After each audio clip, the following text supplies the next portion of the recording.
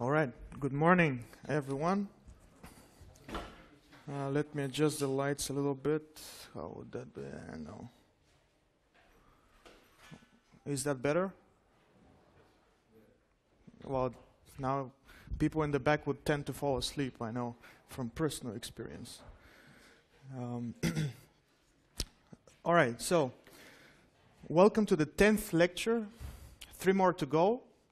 Um, and before we start, as usual, a few announcements. Now, during the self-study on Tuesday, I suggested that we spend half of the last lecture as a Q&A session. So you can ask all kinds of questions regarding anything.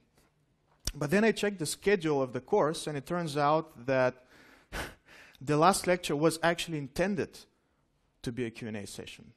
So we don't need to condense anything. The 13th lecture, there would be no new material. I would use the time to make a kind of a summary for, for everything we did. And I will also address the quizzes. Lots of you wanted to know the right answers and why some answers were right and some were not. Um, and then we'll probably have still half the lecture for Q&A sessions for you. So uh, please try to to have your questions uh, in a kind of a condensed form so you can ask them directly. For instance, this slide, I don't understand the diagram. Um, so that we can have more questions for that time. So that's the last lecture before the exam. It's, the exam is on the 22nd, so the lecture before is on the 15th of December. Yeah. the quiz now. I, I don't know, is, is the quiz over now? I forgot what deadline I said. It's all right. It's over, so I can talk about it a little bit. Um, I cancelled one question. That was the question uh, about the policy, integrated policies uh, versus, yeah, the other types of policies, uh, because, yeah, I mean the the basically none of the answers were correct. Let me put it this way. I was kind of, yeah, I mean, yeah, there is a very uh, subtle semantic thing going on there, and I'll talk about it. But basically, everybody got one point there for free. Um, again, I got so many emails. Manual input questions will be graded by me, by hand. So don't worry if you get zero points. I get so many emails. Oh, I got zero points. I failed. What should I do? Uh, you should wait until I grade your manual input questions, and that would probably happen in the weekend. Um, yeah. So that's it as an announcement. Today's lecture is going to be slightly more mathematical. So those of you who wanted to have mathematics, you have it. And yet the most complicated mathematical operations that we're going to do is taking the derivative. That's all. All the equations that you're going to see are simply taking the derivative, setting it to zero, and maximizing some function. That's all. This is what um, standard economics kind of does. Okay, before we start, a quick reminder.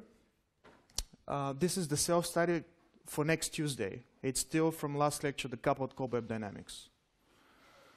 Um, you remember the model, it's in the, in the last lecture. Today's model is going to be the self-study for next next week. All right. A quick summary now. Uh, a more general summary for the for the lecture. What we did, we looked at what kind of problems we're mainly concerned with, and you remember we had this kind of ill-defined, complex problems with no clear solution space, no clear algorithm to solve them, and then we saw that it's actually important uh, to have human problem solvers, basically you. Um, and that's what the MTEC is actually preparing everybody for. Well, that's the ideal, at least. To be a human problem solver, to know how to tackle these problems, to know how to define the problem, first of all, um, to define your goals, and then to implement it properly. And implementing is simply project management. All right. Then the next, uh, well, the last part was controlling solutions, and there are two ways to control solutions. We saw two ways so far. One was the systems dynamics approach, which is we're mainly focusing on feedback loops. So you try to identify feedback loops in your system, um, and and then you see how these feedback loops lead to explosion or or dying out. And you know, positive feedback loops always go together with negative feedback loops, uh, and so on and so forth. Hopefully, you now have more experience with Vensim. You can appreciate its positive and negative sides.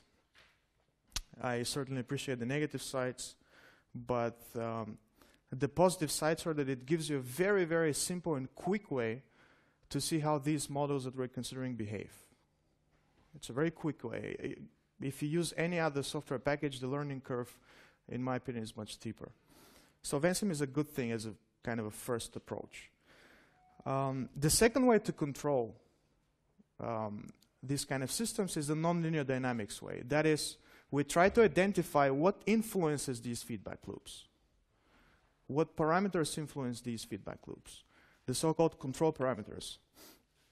And these control parameters basically control the dynamics of the feedback loop and, by extension, the dynamics of your system.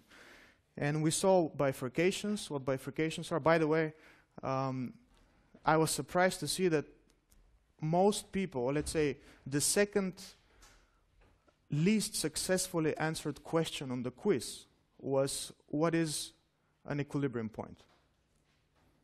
Which I thought is quite trivial. But it turns out, if I look at the statistics, that's the least, uh, the second least successfully answered question, uh, which I don't understand why. What is an equilibrium point? Fixed point, stationary point. Does anybody know? Yes.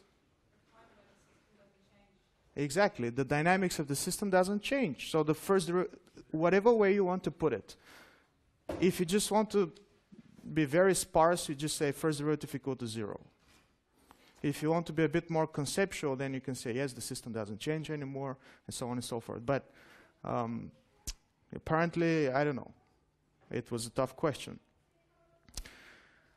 Uh, we looked at predictability. So that means, uh, in our context, chaos. And please remember that chaos um, is not associated with randomness, with having random forces influencing your system, thereby limiting your, your predictability. No. The unpredictability emerges from the system's dynamics. And if you remember the logistics map, there was no random inputs there. But something is missing. You probably already saw it in your handout. So far, we didn't talk too much about economics, right? We saw these models um, with different control parameters, uh, but there was no clear relationship to economics. We started last lecture with considering the the cobweb markets, the coupled cobweb and, and the single cobweb. Uh, and there we talked about the output market. You remember this picture where you had the market of goods and services. That's where firms sell their production. But we also had the input markets. That's the markets for uh, factors of production. That's where uh, basically labor is. That's where labor is both, in a sense, capital also. So today we're going to be considering or dealing with input markets. Um, now, most of you who take courses in macroeconomics, microeconomics, even the basic ones, you would be familiar more or less with the concepts here. Um, but still, for completeness, um, let me introduce a few, few basic economic concepts. The first one is the economic theory of production. So, in the neoclassical economics, and that is that means that um, for, for the neoclassical economists, the output of your economy, the income distribution of your economy, the wages, the prices are all set by the interaction uh, between supply and demand. That's the basic idea of neoclassical economics. You have supply, you have demand, they try to match each other, and by this process, the so-called market clearing mechanism, we set the price, we set the optimal level of production, and so on. So in this um, in this framework, production is nothing more than transforming the output to an input, uh, the input to an output. So the input factors somehow are transformed to an output. And um, this is done basically by an abstract entity which we call production function. Right? And the production function here is given by, uh, by this f, which takes your inputs, the different x's here, and gives you an output y. Now it's important to see that um, the production function is an abstraction of the real production process. We don't concern ourselves here with the managerial or en engineering problems uh, that arise when you try to produce something. We just assume that these don't exist and we're interested in how we can allocate these inputs in a way that maximizes our output. So it's a question of allocation. We're not interested in uh, whether it's actually possible to do it from a technological point of view. Um, basically, standard economics is not concerned with this. All right, so the inputs could be many, uh, but uh, let's say the standard is to assume only two factors of production, let's say the most important two, capital and labor. Capital is all your machinery, infrastructure, buildings, facilities, and so on and so forth. Uh, and labor is basically people. And um, yeah, so capital is uh, denoted by K, and labor is denoted by L. Therefore, the production function is just this. And as I mentioned here, uh, the production function simply describes the technology behind um, behind this transformation, inputs to outputs. It doesn't describe economic choices. It doesn't describe, for instance, how consumers change their preferences or how uh, what kind of problems man managers encounter in implementing these these transformation. No, we're only the F just gives you the current type of technology, if you'd like. As an example, you can see a production function like this simply a linear combination of your inputs, is a technology where all the inputs are substitutes. Right? You can see that. If we remove this input, all we have to do, so if we remove x1, all we have to do to have the same level of y is simply increase x2. That's all. So inputs are completely substitutes. That is a type of technology. It's not economic choice. Another example is uh, this one here. These, so the minimum of all the inputs. Um, in this example, all the inputs are essential, so I have complementary technology, right? For instance, um, if x1 is 0, if we set x1 to 0, so we remove x1, your output would be 0. So you cannot, you cannot replace x1 by increasing anything else because, you know, of the functional form. And then what we want to know, basically with all this exercise, is what is a what production function describes real economies. That's what we want to know. And this lecture is going to be about this, basically. Who has heard the following terms? Cobb-Douglas production function? Not too many. Solow model? All right, that's good. Not too many. So it won't be boring for most of you. Let me introduce first a few basic notions. Probably all know them. Even if you don't know them, they're intuitive enough. Average product. It's basically simply you divide your output, your total output by the total input. In that case, we have y, total output divided by the total input uh, factor i, xi, so we get the average product.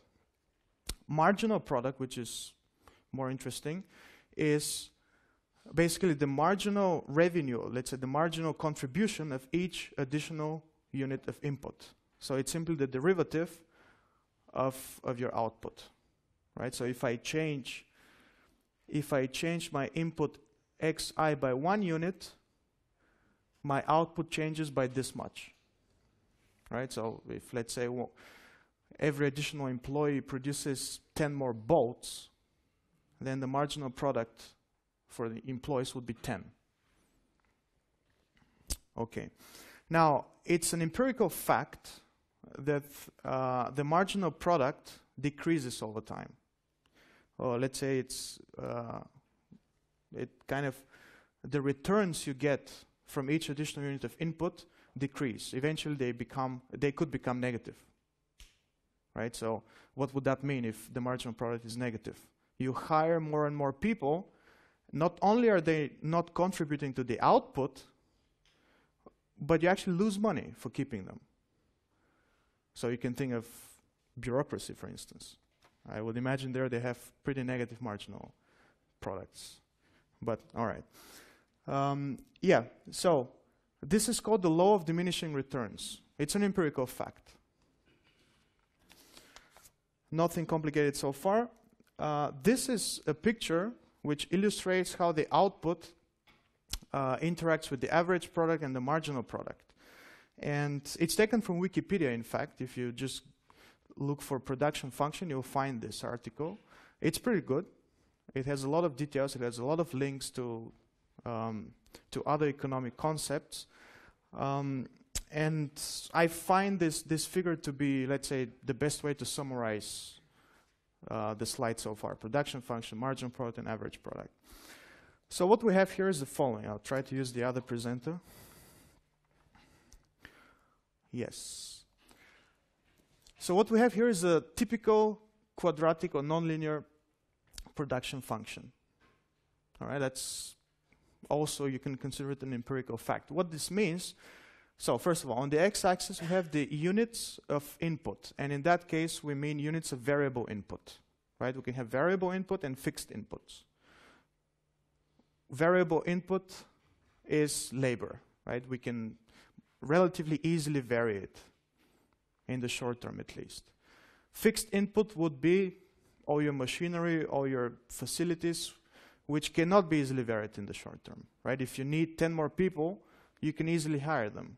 But if you need a, a new factory, you need time to, um, to build it. So um, the fixed inputs are more or less fixed. They don't change in the short term. Here we're concerned with the units of variable input. So input is variable input. What we have is um, the production function or the output of, of your uh, economy increases as you employ more inputs, which makes sense. But at some point, it actually starts to decline. Right? This is the place where the marginal product becomes negative. So you have so many people uh, that they're not only are they not productive anymore, you, you basically lose money keeping them. Paying their wages, they're not producing anything. It's not their fault, by the way. Imagine you have a machine which can only be used by five people, but for some reason you've hired 20, right? They would be crowding. So uh, it's kind of your fault for hiring them.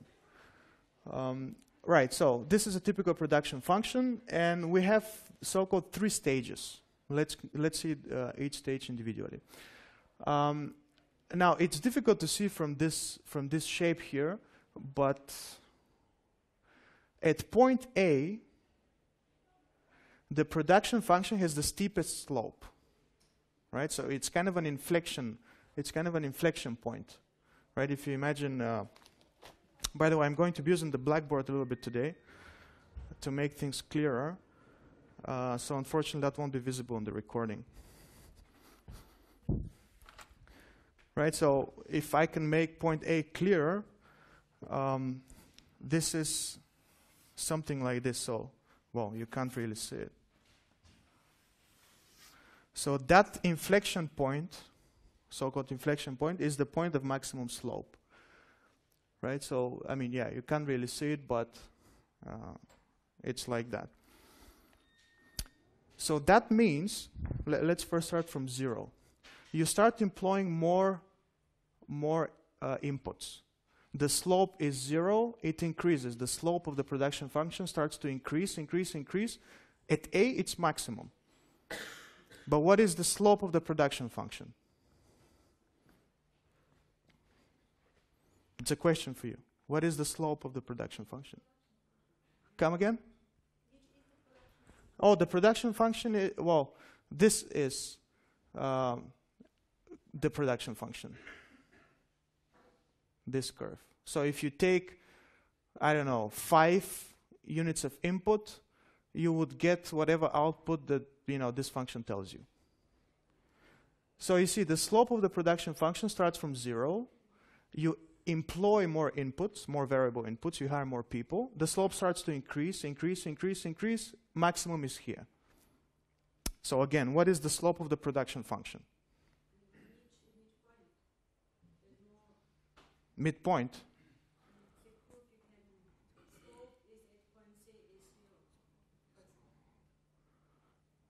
Um, I, I, I don't I don't understand. Yeah, but what is it? Point A. Well, in general, what is the slope of the production function? It's the marginal product, exactly. So, in other words, the marginal product increases, increases, increases. It reaches a maximum here.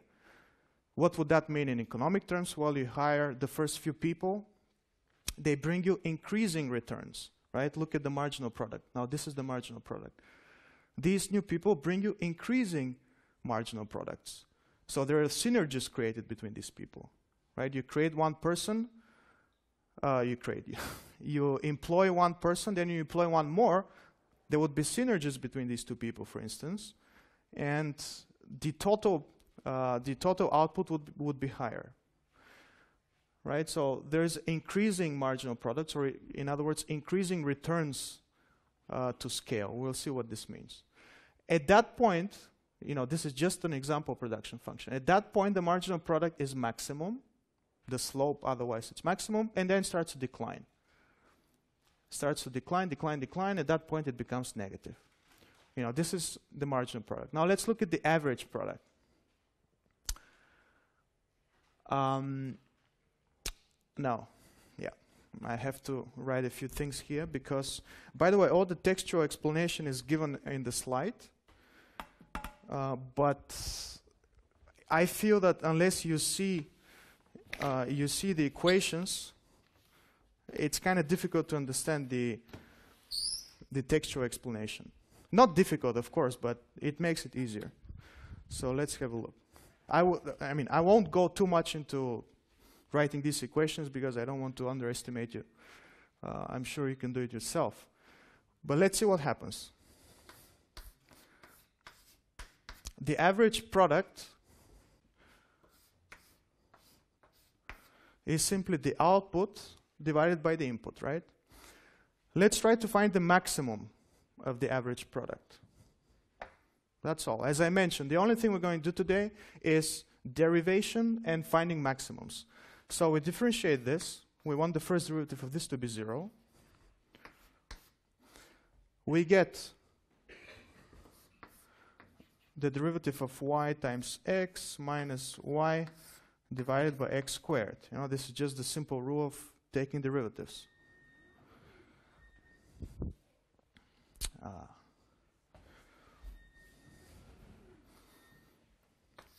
All right. Now we want this to be 0, which means, can you see that in the back? Which means that this is 0, right?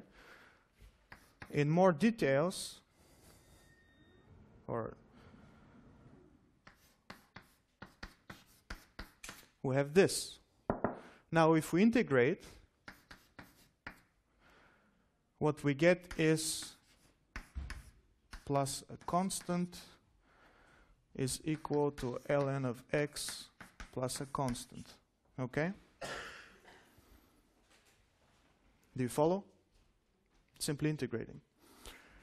Which means that y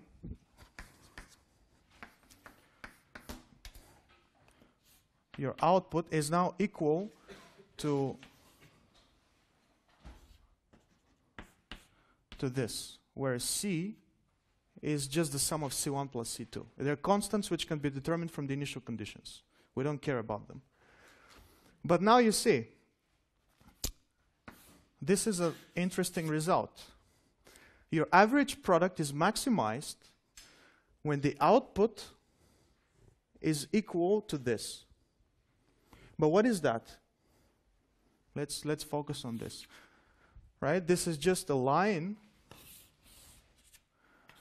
this is just a line with a given slope, right?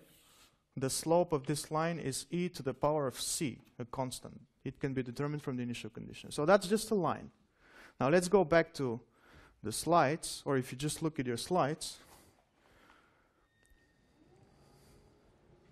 let me show you.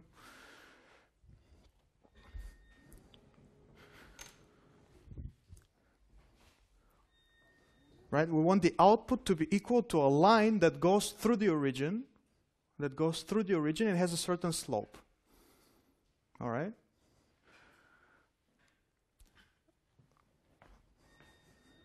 Look at it again. We want to maximize, well, yes. Let's calculate the average product now. The average product is this. If we substitute our given y. So these cancel out, right? So the average product, it's simply the slope of this line. It's a line that goes through the origin. It has a certain slope and intersects your y function. We want to maximize this, which means that we need a line with maximum slope. But this slope, uh, this line, should still intersect with your production function. They should still be equal at some point. And this is basically point B. And the textual explanation says that it's the steepest possible line through the origin that touches the production function. Why steepest? Because of this. We want to maximize the average product. This is the slope. It has to be steepest. All right, so this is point B. Right, and the average product, right, the average product is this. Let's calculate the marginal product. What would the marginal product be? At this point. At this point. Well, it's the derivative of y with respect to x. What is y? y is this. It's the derivative of this with respect to x, which is e to the power of c. So you see the marginal product is now equal to the average product. And this is what you see on the figure. Simply taking derivatives. That's all we're doing. That's the point here. The marginal product, product is equal to the average product. What would that mean conceptually? It means that every new employee contributes the average product. So if we stay at this point, if we don't employ more inputs, if we, if we say at this point, the average product is maximum, and every new employee just contributes the average, right? So if every employee produces two bolts, um, and there are no, um, um, yeah, so if every new employee produces two bolts, adding just new and new employees would just increase your production by two bolts, your average product would stay two right? Two bolts per employee, so we're at that point. If you keep adding more people though, your marginal product decreases, so each new employee contributes less, um, but the output increases, right? This is not a bad thing. The fact that the marginal product decreases doesn't, it's not a bad thing. It's still positive marginal product. Every new employee still contributes something positive. That's why the output keeps increasing at point C, it's maximum. That's when the marginal product is zero. And now if you remember from your economic courses, uh, profit-seeking firm in a competitive market always operates at marginal profit or marginal revenue equal to zero. Okay, so that's the that's the thing. Marginal product is equal to zero. You have maximum output, and so on. So companies ideally want to be between actually point B and C ideally at point C. So that's, that's that with the function. I spent, I think, way too much time on this. So let's move quickly through the following slides. They're actually um, easy. Returns to scale, another basic concept in economics. Constant returns, well, what is returns to scale? The question is, if we increase the production factors by a certain factor, say by two, we double all the, all the factors of production, what happens to the output? Does it double as well? Does it triple or, or, uh, or less?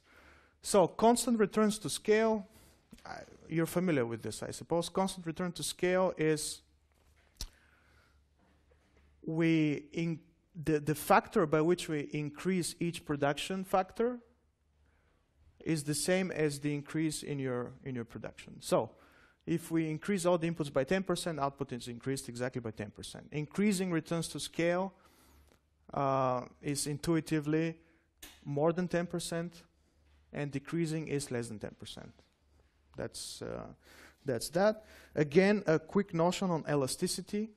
What is, um, in, in that case, elasticity not of supply and demand, but elasticity of the production function to the inputs. Again, we define it as a percentage. So the percentage change in the output divided by the percentage change of the input is this, and it can also be rewritten as the derivative of the log. Right? Derivative of natural logarithm of y is 1 over y times dy. Derivative of this is 1 over x times dx. And then, yeah, they're equal. So that's the elasticity. Um, and this was the basic setup we need production function, um, and, and you know, this kind of notions, are average product, marginal product. Now we're going to consider, consider uh, given a specific production function and see what conclusions we can draw from it. It's the so-called Cobb-Douglas production function. The Cobb-Douglas production function, um, so uh, remember I, I said in the beginning what we're interested in is coming up with a production function which resembles real economy. Okay, and this is one of the candidates for this is the Cobb-Douglas production function. We'll see how it was derived and we'll see why it resembles real economy. But before we start, I'll just give you the function. It's like this, right? It's uh, L, the labor to some power, K, the capital to some power, uh, and then there is a constant which we define as, let's say, productivity or technology efficiency. Now, you should be able to, to, to see that given how we defined elasticities, alpha is the elasticity of the output to labor, and beta is the elasticity of output to capital. Right? These are elasticities. I mean, very easy. You should be able to just calculate this quantity, this thing. First, take the derivative of y with respect to L and calculate that. You find elasticity of labor. Then take the derivative of y with respect to K and uh, you find elasticity of, of capital. They're alpha and beta. I won't spend time deriving this for you. It's very easy. Um, now, how it was developed? Well, the, um, Douglas, Paul Douglas, was interested in kind of coming up with a law or coming up with a, um, yeah, with basically a stylized fact about relating the input to the output of an economy. So he assumed that there must be some universal law which is true for basically all economies. Um, and what he did, he was not a mathematician. What he did, he looked at this um, data from the National Bureau of Economic Research, and he found that throughout these, what is it, nine years, the share of output that was paid to labor was pretty much constant, 75%, so three-fourths. It was pretty much constant. So this was one kind of evidence to him that there must be some governing law which links uh, input, which transforms inputs to outputs, and that is valid across, across the board. Then he contacted this mathematician, Charles Cobb, and he suggested the following form. Now, why did he suggest this form? And why these numbers are one-fourth and three-fourth, we're going to see now.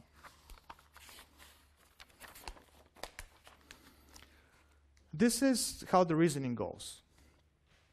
Um, we have a certain production function y, and let's calculate the profit first of our firm.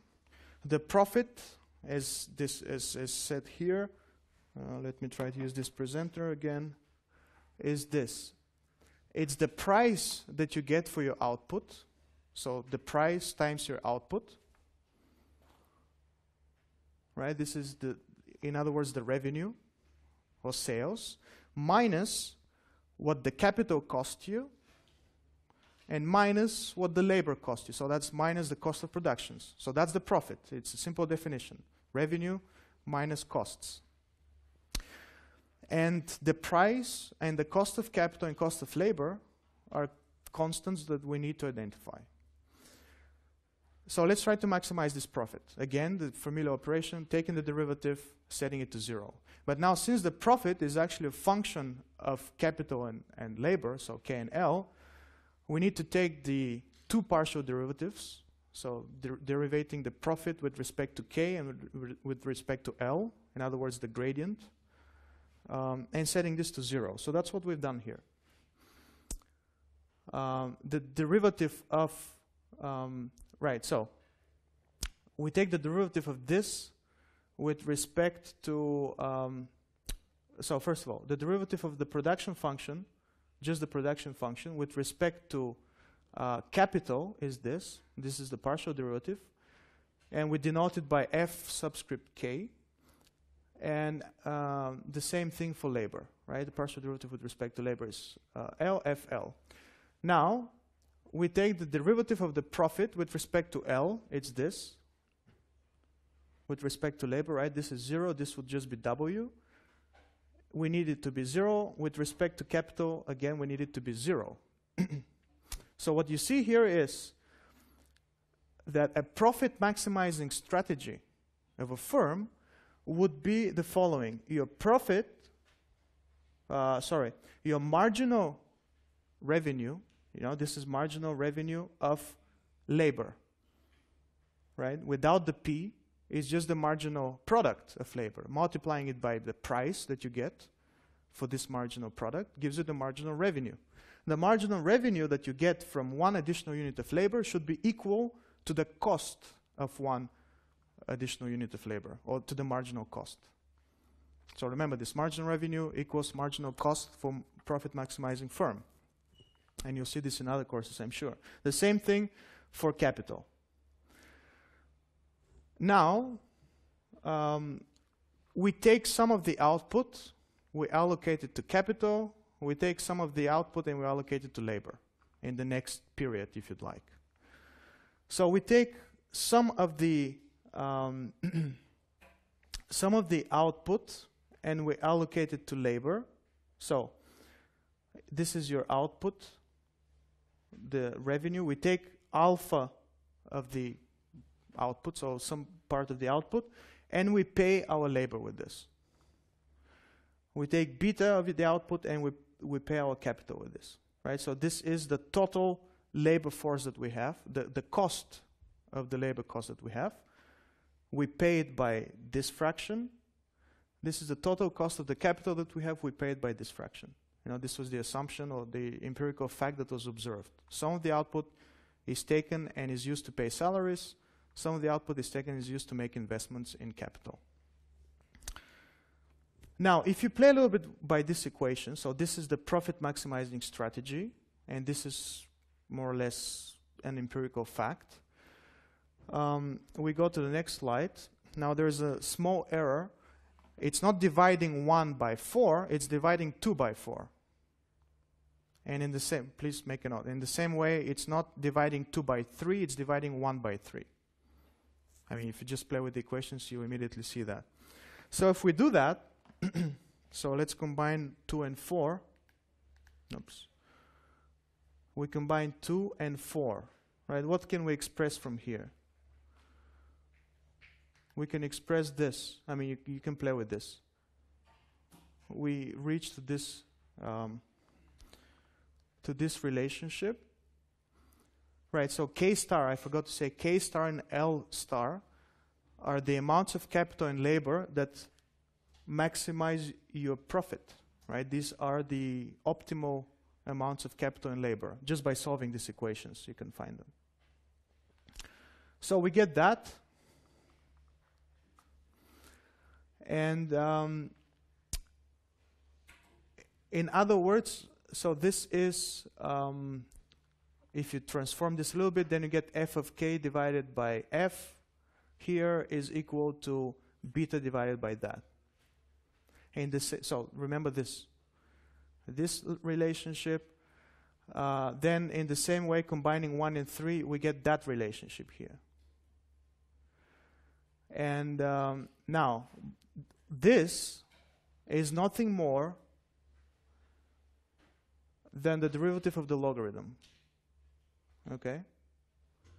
So if you, if you, if you differentiate the logarithm of f with respect to k, you get that. The partial derivative with respect to k divided by f. Okay, that's, that's nothing more. So, therefore, the logarithm of f of k and l is equal to this thing. Right? Now you simply integrate. We integrate that, and we integrate that. And we get this. You can check that. You can take the derivative of this with respect to k, and we should get exactly that this relationship holds. G of L is a function which depends on labor. If we take the derivative, partial derivative, with respect to k, this is zero, right? There is no k here. So this is zero, the constant is zero. All we get, I mean, we can take it. It's just, let's just do it. It's one line. yeah. I don't know where I left my chalk. I'll do it here now. Let's take the derivative of that thing. So the derivative of f with respect to k is this, right? This is the derivative of the logarithm. It's equal to beta times uh, the derivative of ln of k with respect to k is 1 over k. Everything else is 0. What is that? It's exactly that equation over there on top right, right? The same thing for the second. Okay.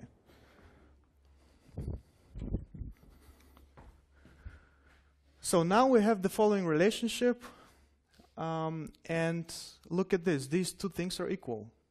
So we just equate the right-hand sides. If we do that, um, again, let's be thorough.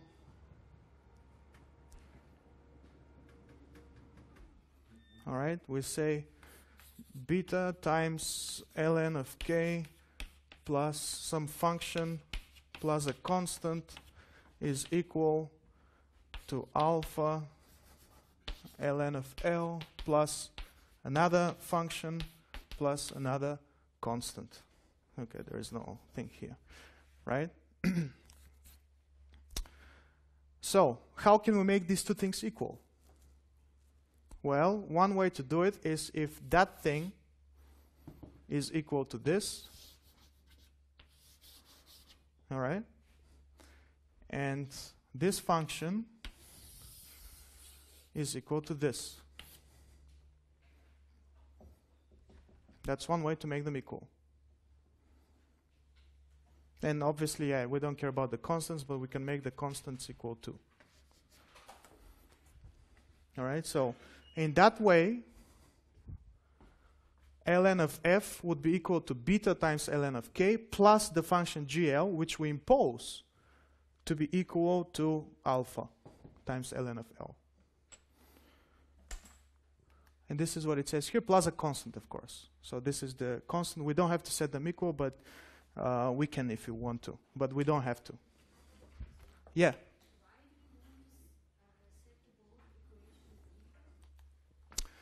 Because look, they must be equal. They must be equal because the left-hand sides are the same. Right? So they must be equal. And one way to make them equal is to just impose what this function should be and what this function should be. That's one way. All right? So if g of L is equal to alpha times ln of L and h of k is equal to that, then they're equal. Clear. All right, so this is exactly what I said. Plus a constant. Now we just exponentiate both sides. Just let me just finish the slide. It's really quick. We exponentiate both slides, uh, both slides, both sides, and we get that. This is the form that we saw in the beginning. And a is a constant, which is e to the power of c. It's just a constant. So let me recap how we did this, how we came up to this conclusion. We started with assuming that the firm tries to maximize its profit. That was one thing. Second, we assume that some part of some fraction of the output is taken is used to pay labor costs. Some other part of the output is taken and is used to pay capital costs. That's all. These two things, we combine them, we played with them, and we reached to the conclusion that a production function which maximizes profit and allocates uh, ratios of output to labor and capital looks like this. Okay?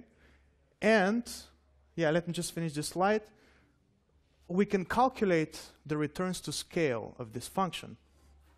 Let's just increase the inputs by a factor of lambda right? If you do that, and you use the property of the of the exponent, then you reach to the conclusion that if you multiply the inputs by lambda, your output is this. This is the output. Now, if you want constant returns to scale, as this is also kind of an empirical fact, we'll see data later on, then alpha plus beta must be 1, right? If you want increasing returns to scale, it would be larger than 1 and uh, obviously smaller than 1 for decreasing returns to scale. But if you assume that it's 1, you don't assume it, it's an empirical fact that these guys observed, then we get we get this, and um, that's all. This function also has the property that the inputs are essential. If you set any input to zero, the total output is zero right? Zero to some power is defined to be zero, right? So we get uh, we get the whole thing is zero. So that is how the Cobb-Douglas function was derived. And in the following slides, we're going to see um, empirical validations for this. So we'll do this after the break. Let's continue. Uh,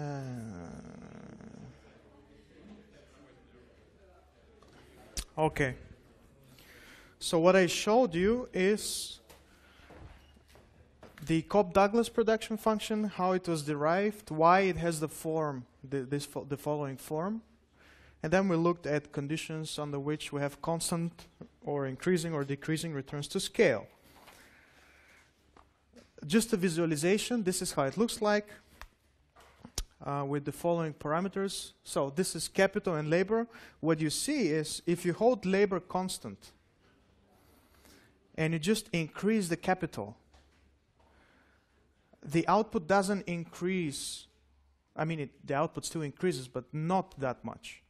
If you hold the capital constant and you increase labor, let's just look at that. Let's hold the labor constant here, the first contour line here.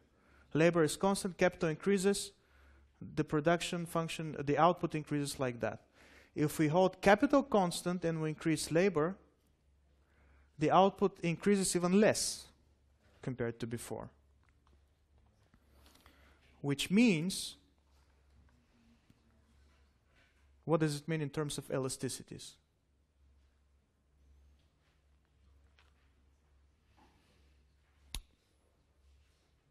It means that in that particular case,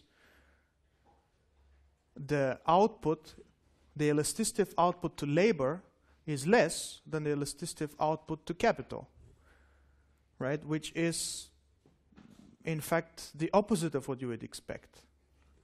And the reason is that, look, alpha is 0.35. So alpha was the elasticity of capital the elasticity of labor would be 0. Point, what is it, six, uh, seven, 65, seven, yeah, 65.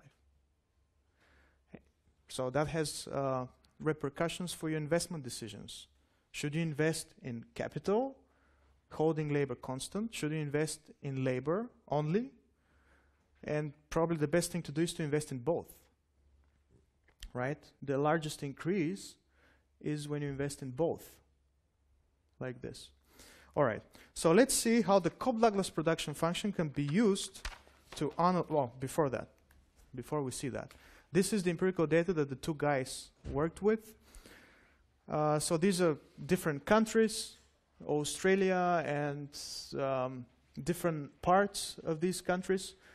And what they saw, so I actually I don't know the details what the observations are. I think these are regions within the country. So what they saw was that values of k, k was capital, or let's say the the ratio of output that goes to capital is this. The ratio of output that goes to labor is this. All right. And you saw that the sum, so this is alpha and beta, right? The sum is more or less constant. It's 1. So that's how, uh, I mean, that's why they posited that uh, this function has constant returns to scale, because alpha plus beta is kind of close to 1. And besides, what you can see also here is that uh, the average, um, uh, actually, sorry. Yes, it's the other way around. Yeah, it's kind of confusing. K, yeah, please make a note. K is labor, and J is capital. So this is labor. And the average of this where is it? The average of this is about 0.6.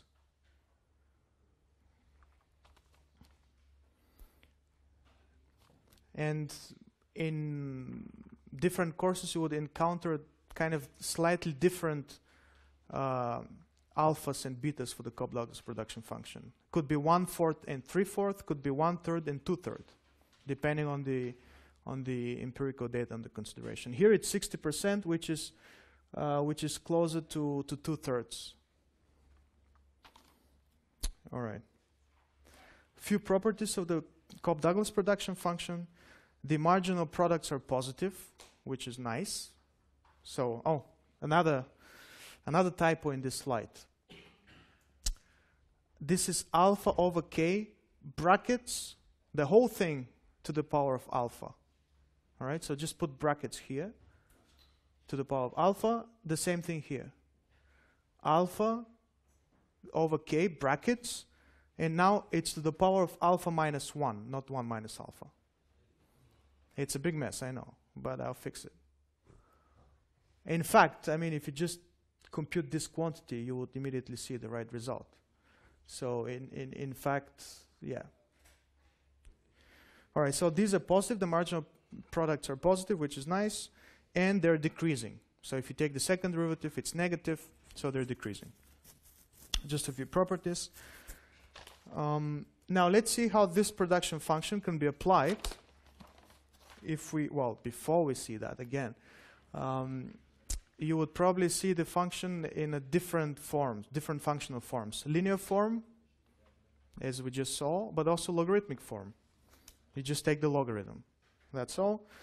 And, well, yes, the computation of the elasticity, elasticity that I talked about is now here.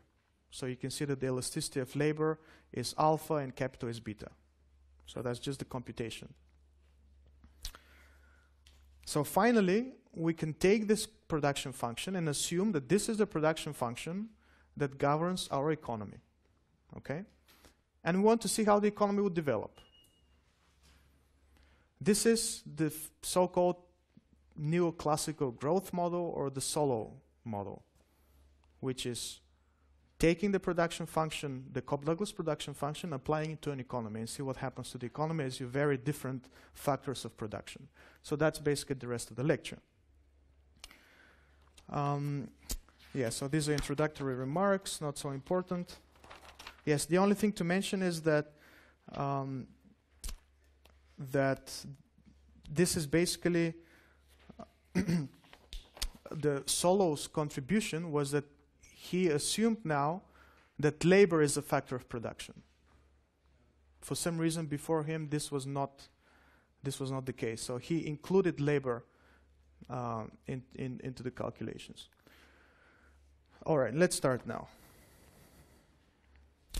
Uh, first, the assumptions of the model. Let's quickly jump to this equation there. We have the output, the total output of the country is the sum of consumption, investment, government expenditures, and net exports. In other words, take a given output and you try to divide it now. What to do with this output? You can consume all of it. If you consume all of it, you won't have anything left uh, for tomorrow. You can invest. So, investment here means you invest in capital, you invest in a factor of production. And in the Solow growth model, the investment is only in the capital.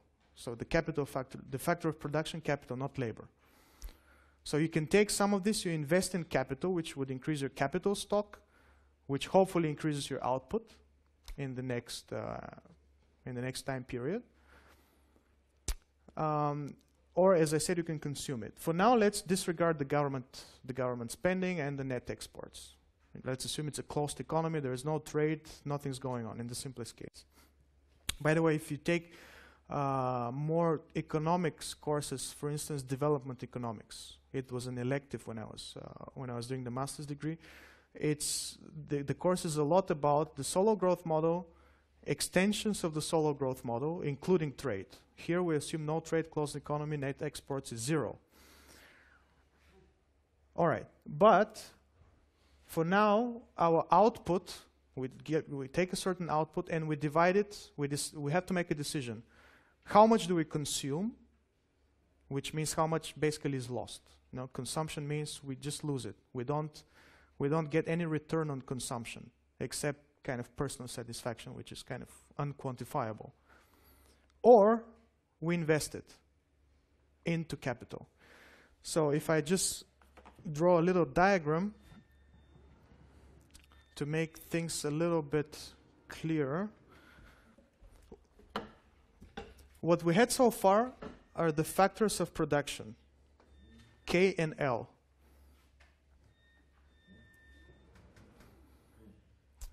Yeah.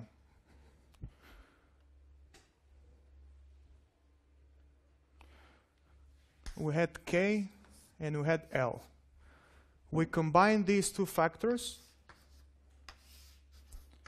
somehow, this is our production function, and we create output. All right? Then we make the decision what should we do with this output?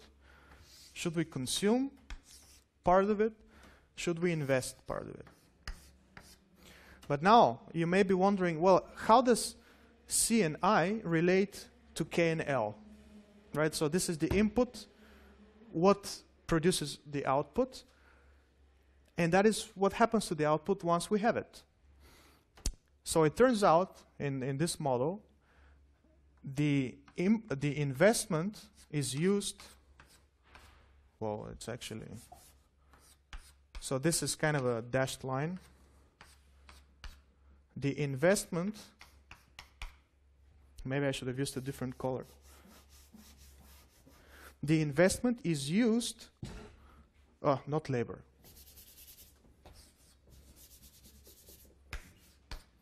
Is used to increase capital. So this is the feedback, right? This is how our actions, our decisions uh, on the output side influence the, the, the, what happens on the input side. And in the Solow growth model, the L is assumed to be exogenous, governed exogenous. So there is kind of a exogenous uh, labor supply. People come to the country, people leave the country. Uh, we, we don't care about that. So consumption is lost output. You know, it's goes to nothing. Investment feeds back to, to capital. This is uh, the relationship between the output side and the input side. Okay. Just as a conceptual overview. Probably I should create some diagram and put it in the slides. Good. Right, so as I mentioned, the labor force grows exogenously, right there.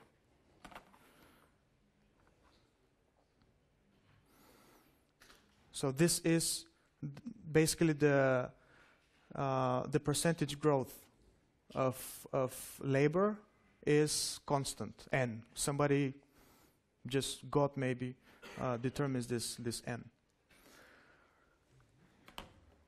All right, let's analyze the model further. Our production function now depends only on K and L. We split the output between consumption and investment. And remember, the decision we need to make now is how much should we spend on consumption, how much should we spend on investment. Um, in fact, um, what people are mostly interested with is what is the, well, let me first say the following. The investment is assumed to be a part of the output, right? It's a linear part of the output. So we just take some fraction from the output and we invest it back to capital. So this is S, the savings rate. So at each time period, the government has to decide how much do I save. The rest I will consume, people in my country will consume. And the question is, what is the savings rate which maximizes your consumption? Because for some reason, maximizing consumption is, let's say, one of the most important things that people expect from a government. Um, so that's the question we want to answer. How much should we save and invest in capital so that our consumption is maximized? Now you can think, if you don't save anything, you maximize consumption today, but tomorrow you have nothing, right? So the actual equilibrium is zero consumption because your capital gets destroyed. If you save everything, you would constantly have more and more capital because you invest everything into capital, but consumption is zero all the time because you don't you don't consume anything. So you need to find this kind of middle ground where consumption is maximized um, yeah, and then now we're going to, to find this. This is the whole purpose of, of the following slides. The feedback mechanism I already talked about, it's this one.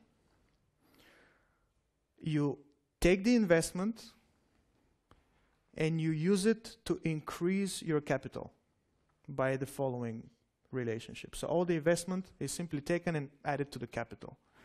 And of course, we have to account for depreciation of capital, right? So let's say you have a battery. If you leave this battery for let's two years, it will depreciate, and at the end of the day, it won't work. Right? Depreciation, uh, or for non-tangible assets, it's amortization, but it's the same idea. The intrinsic value of something declines. It's basically a physical process. So this is how your capital, or the feedback mechanism, how it works. Your capital increases or decreases by the difference of what you decide to invest minus depreciation. So you can immediately see if you invest less than what the depreciation is, you cannot cover the, let's say, destruction of capital, the intrinsic destruction of capital, so your capital stock would decrease. If you invest more, your capital stock will increase. All right, so investment is simply a fraction S of your output and minus that. Now what we do next is, yes, we basically try to find the level of savings, the so-called golden level of savings, that maximizes your consumption. This is the whole purpose of the exercise. So let's see what happens. Mm now, first we'd like to eliminate our two factors of production. We have K and L, but it turns out it's more convenient to work with the ratio K and L. And quickly I want to show you, uh, there, is there should be three of them. No, maybe not. Let's use this one. Quickly I want to show you what happens if we use this ratio. So I will use that part. Oops here. All right? So we have our production function, which is this. Now let's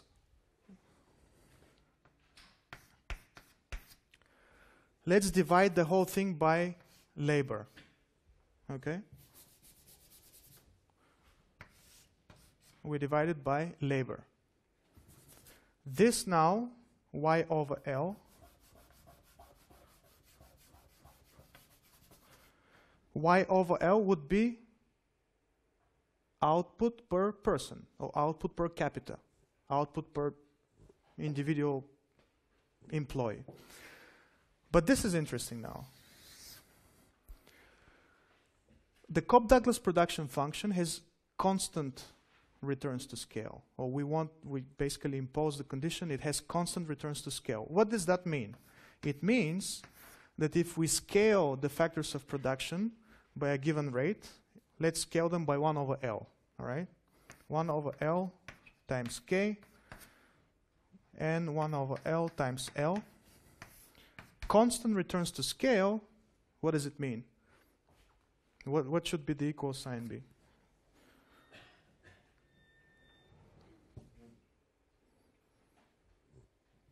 Right? We scale the Cobb-Douglas production function by 1 over L, each factor of production. What should it equal for constant returns to scale? Yes? It so what should I write? F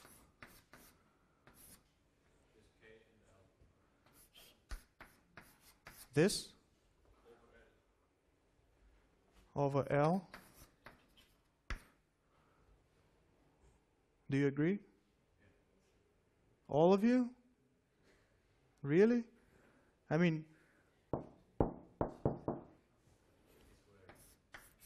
K over L. 1. Right?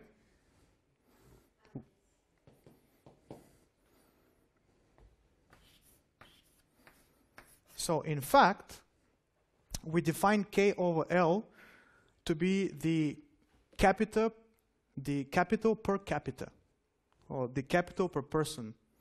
You know, this is, let's say if my country has five factories and five people living there, each person would get one factory. So this is the capital per person, capital per capita. And this is small k in the slides. So in essence, what we've shown is that if we scale the production function by L, 1 over L, the output is this. So it's basically uh, 1 over L times F, and now F, this is small k. So this is the production function per person. Okay? Now let's go back to the slides. Yes.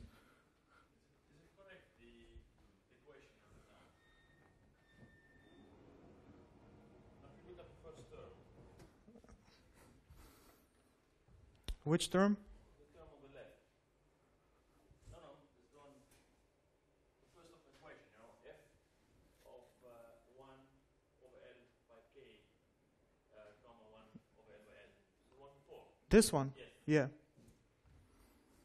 If you calculate this, it should be f of k over L, Mhm. comma 1. Yes. But you wrote down equal 1 over L uh, times f k over L, comma 1. So that, that is, that is a mistake.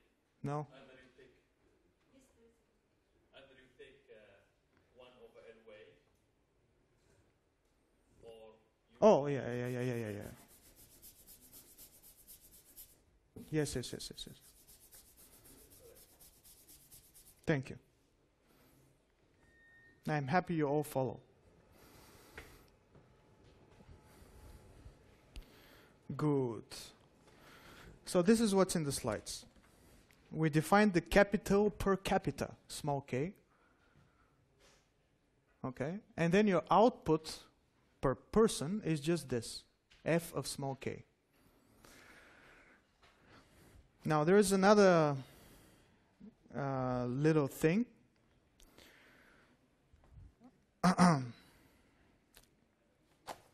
So let me see if I should derive this for you. Let's try to explain it. Remember, here we had the following thing. Yeah, let, let me derive this for you, and that's the last thing I will derive actually.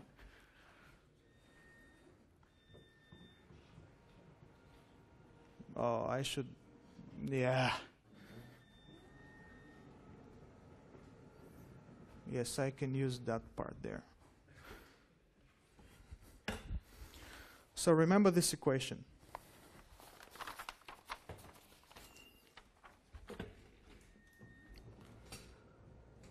Okay, I will use different color. Let's say blue. The equation from the previous slide, slide 18. So we had, um, this is capital K now, is equal to investment, which is S times F of K and L, minus this, depreciation.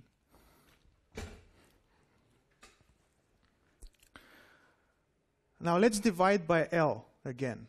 We divide everything by L. Oh, no. Uh, what we're interested in is um,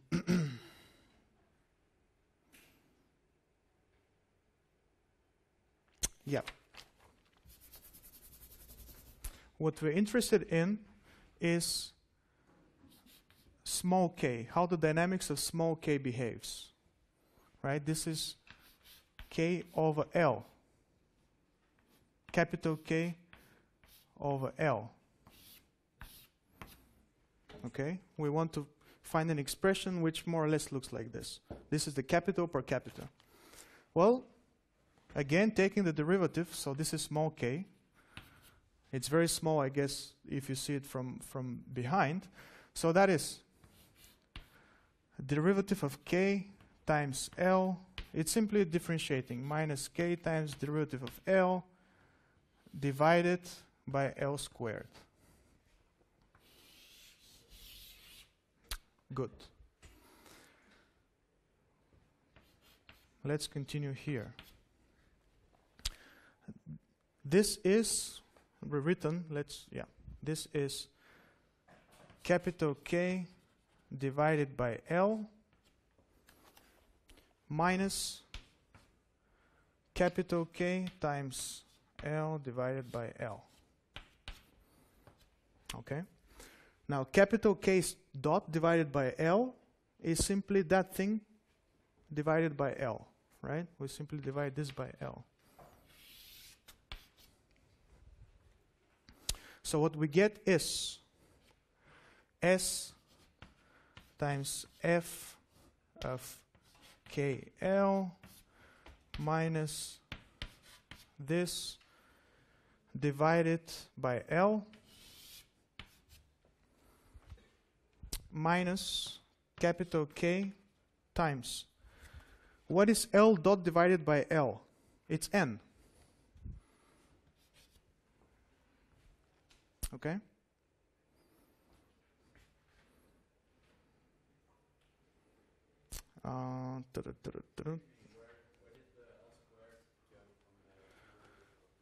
Uh, you're absolutely right.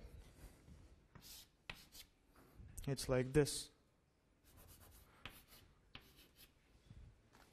Thank you. Actually, now the calculation. Who said that? Thanks. So basically, now the calculations would would be right, right? I just take this. L would cancel out, so that's an L that thing is still over L squared. Now, L dot over L is N. And then we just have a leftover factor of L. K star is now equal to. Um, what is that? We know what this is already. It's S times F of small k. Now everything is small k now. I just did this here. Oh, the other board. All right. uh, and then we have minus um, K over L, so capital K over L and that is n plus plus um, delta, right? Let me see. Yes. And we're almost done. What is k over L? It's small k. So this is what we wanted. The dynamics of the capital per capita. And this is the equation you find on uh, slide 19. Yes, it's slide 19. So the next slide. There you go.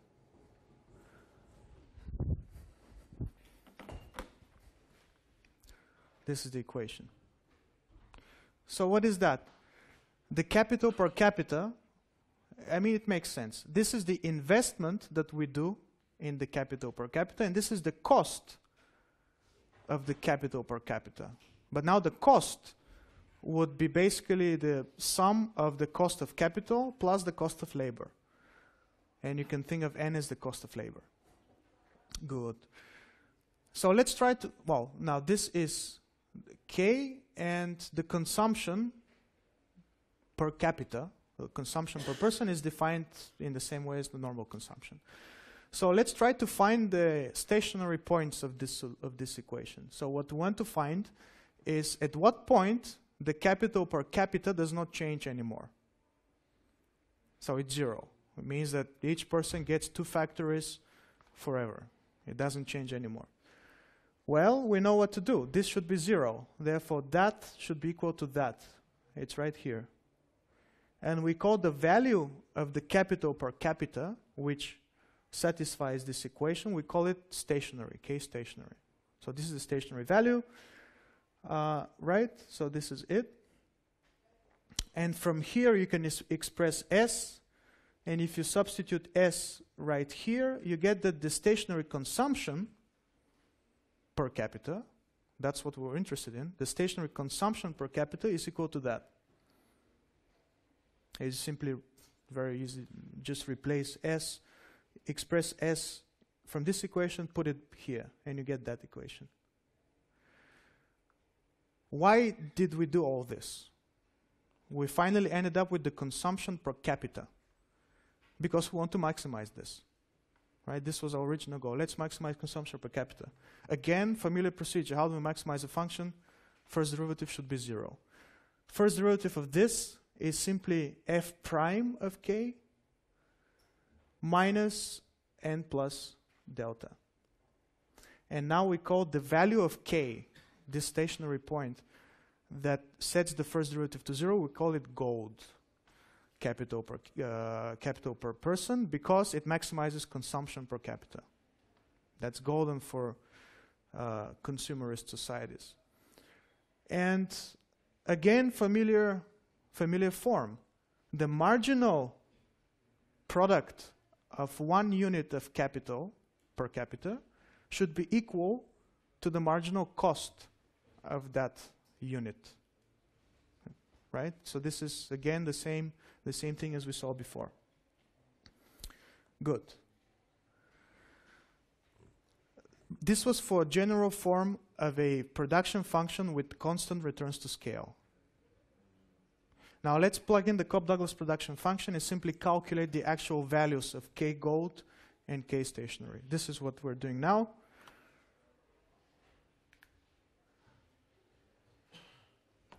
And it's simply plugging in the right values from the Cobb-Douglas production function into these equations. Right? So you plug in, um, uh, you can express the production per person is this. Yeah, you simply divide by L and so on. So it's like this. This is f of k, and then you simply plug in uh, f of k into all the equations. For instance, you can plug in f of k, um, f of k here.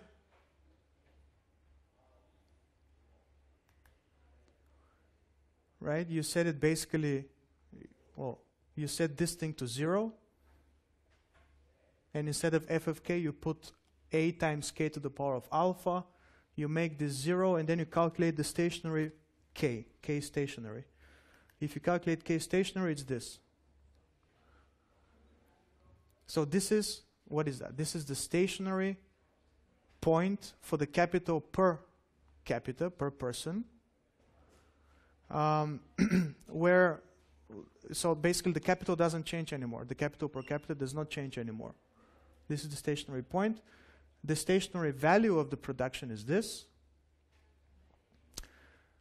Uh, and now if you plug in k stationary into that equation, into that equation is here, you want the first derivative of that to be equal to this. And what you find at the end is that the golden ratio, so the capital per capita value which maximizes your consumption is equal to this. And just comparing that and that, you see that the optimal production, the optimal savings rate, which maximizes your consumption, is alpha. So what you've basically what this means is you have your empirical data, you find the elasticity of capital, right? This is alpha. This should be your savings rate if you want to maximize consumption. This is the bottom line. You would have to do the Cobb-Douglas, or the, sorry, the Solow model as an ex, as a self-study in the next next uh, next next uh, exercise, and then you'll really understand how these different K gold and K stationary uh, come to existence. These are some computer simulations uh, in Vensim, by the way, so you would probably have to do something like that. Let's focus on this graph right? This is the production per person, f of k, small f of k, production per person. You see at some point it saturates. That's when we have reached k stationary. The different values represent different savings ratios. Now, it would be easier to understand all these graphs if we quickly jump. Okay, this is, this is interesting now. This is the most important graph. This is the consumption per capita. This is exactly what we're interested in, consumption per person. And we want to maximizing, to maximize it. So the green curve is savings rate of 0.3. The red curve is savings rate of 0.5. And the, the green, sorry, the blue one, yes, the blue one is 0.3. The green one is 0.7. And this is 0.5. Remember, the elasticity, alpha, was given, and it was 0.5. So this equation tells us that the optimum savings rate should be 0.5. But we've played a bit. We don't choose 0.5, we choose 0.3. We get the blue curve. 0.5 is the red curve, and you can immediately see that this really produces the optimum, the largest consumption per capita in the long term. So you have to play with this. Um, yeah. The x-axis is time. This is time. Okay. All this, also the mathematical analysis, considered something evolving over time and reaching a stationary state. And then we try to find out, okay, what is the stationary state? How can we maximize something? Now, what people have been using the Cobb-Douglas or the Solow model for is not just to see evolution over time, it's kind of a trivial thing um, because you always know that you would reach an equilibrium. But what people have been using it for is to compare different countries with different savings rates, with different capital per capita, and see basically why some countries are poorer than other countries. What is the reason for this? And this is the um, domain of comparative statics, in a sense. So you compare stationary equilibriums. You've already reached these equilibriums, and you just compare different equilibriums over different countries to see what can we what, what can be done in order to bring one country closer to to a higher equilibrium. Um, this text here is just explanation of that graph, and I'll just explain that graph without explaining the text. Well, we Yeah, maybe we. Well, let's. Is that confusing if I use it too much? Like this spotlight? I assume no then. All right, so this is the depreciation depreciation of capital per capita. Remember. So D is the depreciation of your capital, N is the depreciation of labor, right? Or in other words, the cost of labor. You can also think of it in this way. So this is what we have to pay to support a given capital per capita. This is the investment. That curve. So S, a fraction times the output Y. And you can imagine that the output Y would be just the same, it would have the same shape, but it would be maybe higher. It would be like this. And S times Y is just uh, um, given fraction of it. What we know is, let, well, let's start from here, this point. This level of capital per capita. What happens is that our investment is higher than the depreciation. What does that mean? It means that we can create new capital because we cover the depreciation, but we, there's also something left over to create new capital. Therefore, the capital stock, the capital per capita would increase in the next time period. It would keep increasing until this point, until the investment we make are just enough to cover the depreciation of the existing capital per capita and we don't create or destroy anything. So that's the equilibrium here. This is where that thing is equal to that thing. And you can see that in the previous slides in the mathematics. If we start from this point, however, if we're here for some reason, then the investment we do is not enough uh, to cover all the depreciation. Therefore, some of the capital per capita would be destroyed. We couldn't invest enough. And in the next time period, the capital per capita would decrease, eventually reaching the equilibrium. Now, this is the equilibrium. What happens if for some reason the country decides to, to save more? Well, the saving curve is basically shifted up. Right now, S prime is bigger than S. The new equilibrium is here. It's just the intersection of these two points. So now the everybody in the country would have more capital per capita because new capital would have been created by investing more. So instead of me having two factories, uh, I would probably have five. But we'll see that this does not mean that I can consume more. This is not uh, a proxy for consumption. Just remember this now. The capital per capita, which is not always gadgets, is increases.